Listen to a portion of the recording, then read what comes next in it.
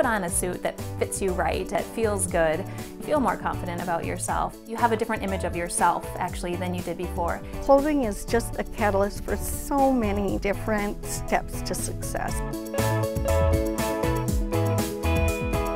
Ready for Success is a wonderful clothing ministry that's about much more than clothes. Their goal is to provide work apparel for anybody in the community who's looking for a job, building their self-esteem and giving them clothes that will make them competitive at interviews.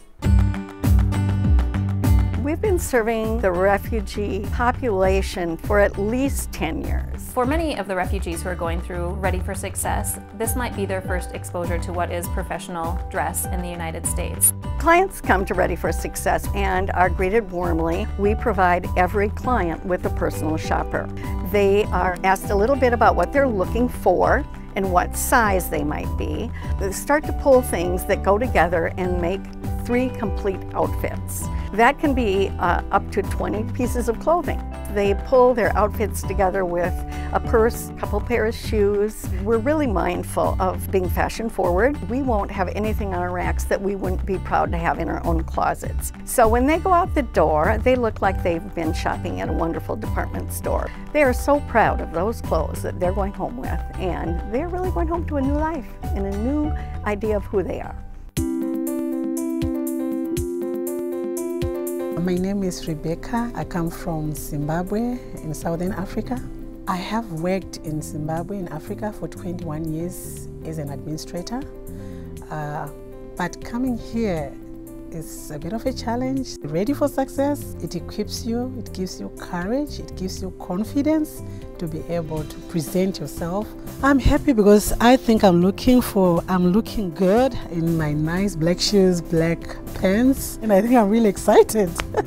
With this, you actually get to dress a whole person. It's both an experience where you can give your time and give of yourself. It also refreshes and recharges you as well.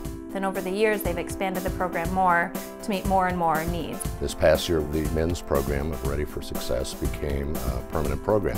And now you see the men coming out with the suits and with the same confidence that the women did. My name is Tekna Sapkota. I'm a Bhutanese refugee. Today I, have, I faced one interview and as soon as I face an interview, uh, I am hired there. And from this coming Monday, I'll start my new job in USA. And I'm to, uh, today I'm very happy.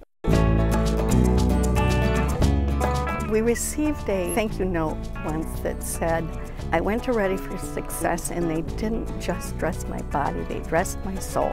I didn't have to think about how I looked, I got to think about my skill set and what I could offer to the, to the job uh, and not be concerned. The more that we can do to help our clients and help refugees feel confident in themselves, the more competitive they're going to be for a job. We want them to go out being pleased and proud of what they have in their bags. Taller, happier, feeling better about themselves.